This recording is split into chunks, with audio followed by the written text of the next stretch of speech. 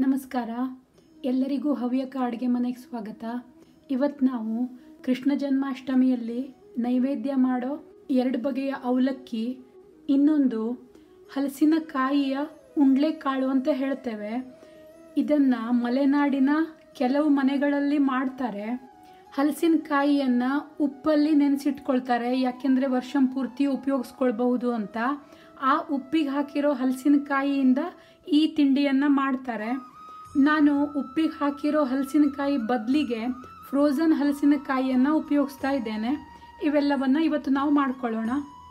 ನಾವಿವತ್ತು ಎರಡು ಬಗೆಯ ಅವಲಕ್ಕಿಯನ್ನು ಮಾಡ್ತಾ ಇದ್ದೇವಲ್ವಾ? ಒಂದು ಸಿಹಿದು, ಇನ್ನೊಂದು ಖಾರದ್ದು. ಸಿಹಿ ಅವಲಕ್ಕಿಯನ್ನು ಮಾಡಲಿಕ್ಕೆ ಒಂದು ಕಪ್ ಸಪೂರ ಅವಲಕ್ಕಿ, ಕಾಲು ಕಪ್ ತೆಂಗಿನಕಾಯಿ ತುರಿಯನ್ನು ತಗೊಂಡಿದ್ದೇನೆ. ಇದಕ್ಕೆ ಎರಡು ಚಮಚ ಕರಗಿಸ್ಕೊಂಡಿರೋ ತುಪ್ಪ, ಎರಡು ಚಮಚ ಬೆಲ್ಲ, ಸ್ವಲ್ಪ ಏಲಕ್ಕಿ ಪುಡಿ. ಇದನ್ನು ಮಿಕ್ಸ್ ಮಾಡಿಕೊಂಡು ಅವಲಕ್ಕಿ ಜೊತೆ ಕಲಿಸ್ತೇನೆ. ನೀವು ನೈವೇದ್ಯದ ಟೈಮಲ್ಲಿ ಚಿಕ್ಕದಾಗಿ ಬಾಳೆಹಣ್ಣನ್ನು ಕಟ್ ಮಾಡ್ಕೊಂಡು ಹಾಕ್ಕೊಳ್ಬಹುದು ನಮ್ಮ ಸಿಹಿ ಅವಲಕ್ಕಿ ಸಿದ್ಧವಾಗಿದೆ. ಖಾರದ ಅವಲಕ್ಕಿಯನ್ನು ಮಾಡಲಿಕ್ಕೆ ಒಂದು ಕಪ್ ಸಪೂರ ಅವಲಕ್ಕಿ, ಕಾಲು ಕಪ್ ತೆಂಗಿನಕಾಯಿ ತುರಿ, ಒಂದು ಹಸಿಮೆಣಸನ್ನು ತಗೊಂಡಿದ್ದೇನೆ. ಇದಕ್ಕೆ ರುಚಿಗೆ ತಕ್ಕಷ್ಟು ಉಪ್ಪು, ಒಂದು ಕಾಲು ಟೇಬಲ್ ಸ್ಪೂನ್ ಕೊಬ್ಬರಿ ಎಣ್ಣೆ. ಹಸಿಮೆಣಸನ್ನು ತೆಂಗಿನಕಾಯಿ ಜೊತೆ ಚೆನ್ನಾಗಿ ನುರ್ಕೊಂಡು ಮಿಕ್ಸ್ ಮಾಡಿಕೊಂಡು ಅವಲಕ್ಕಿ ಜೊತೆ ಕಲಿಸ್ಕೊಳ್ತೇನೆ. ಖಾರದ ಅವಲಕ್ಕಿ ಸಿದ್ಧವಾಗಿದೆ.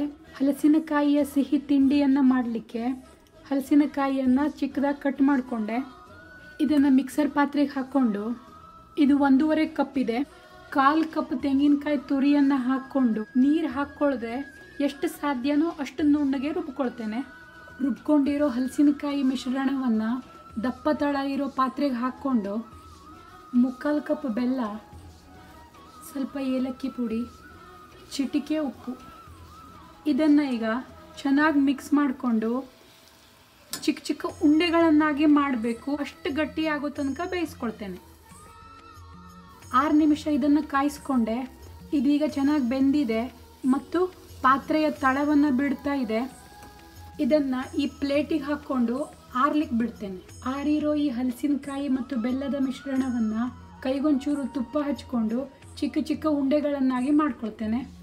ಮಾಡ್ಕೊಂಡಿರೋ ಉಂಡೆಯನ್ನು ಕಾದಿರೋ ಎಣ್ಣೆಯಲ್ಲಿ ಕರೆದುಕೊಳ್ಳೋಣ.